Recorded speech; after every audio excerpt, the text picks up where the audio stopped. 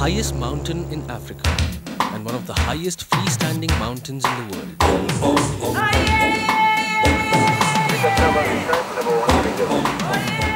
At almost 5,900 meters, the snow-capped Kilimanjaro stands out, far above the rest, just like the 500,000 Indians for whom it has been a source of inspiration for over a century now. This is true not just for the Indian diaspora in Tanzania, the home of the Kilimanjaro, but also in Kenya and Uganda.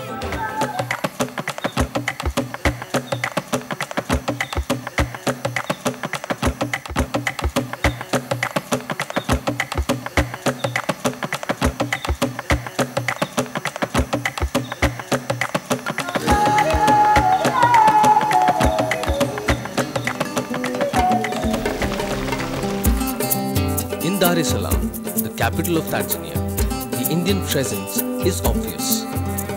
The India Street, which is the hub of commercial activity. Cinema halls showing the latest Hindi films.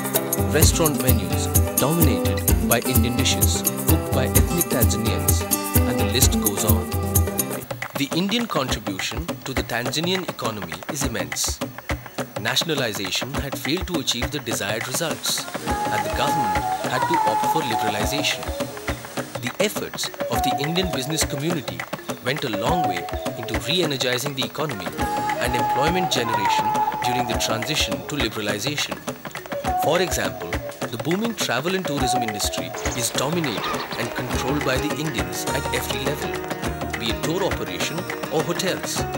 This is true for manufacturing and trading also. Dinesh Vaishnav is the editor of the Tan Travel magazine in Dar es Salaam.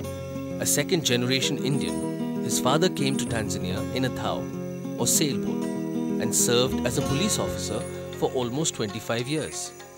He is today the proud member of the Elders Council of the Hindu Mandal, of which Dinesh is the General Secretary.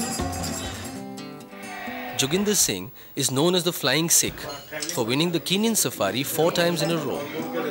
He is considered the uncrowned king of safari races, so much so that many ethnic Kenyans name their children after him.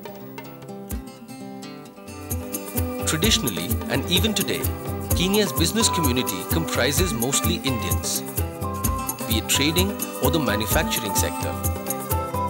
Surinder Singh Gheer's father came to Kenya with just a few rupees in his pocket. Surinder Gheer has been born and brought up in Kenya and today runs a fairly successful engineering business in Nairobi. It was just two generations ago that Nanji Kalidas Mehta set up a remote trading post in Kamuli and started trading with the Ugandan people in cowrie shells. My father had difficulties in, in different way in those days, you know. And the kind of difficulties my generation had to face was very different, you know. These difficulties were created because of the uh, political changes which is taking place, you know, uh, on this continent. It has been a hundred years since their ancestors came here to build the Mombasa Kampala Railroad. And it has been several hundred years since the Indians settled along the coast of East Africa to open up trade and economic activity in a region that had been hitherto isolated. Over these millennia, the immense contribution of the Indian diaspora to their adopted homeland in East Africa cannot be overlooked. Although they still maintain strong cultural ties with India, their home is here in the foothills of Mount Kilimanjaro.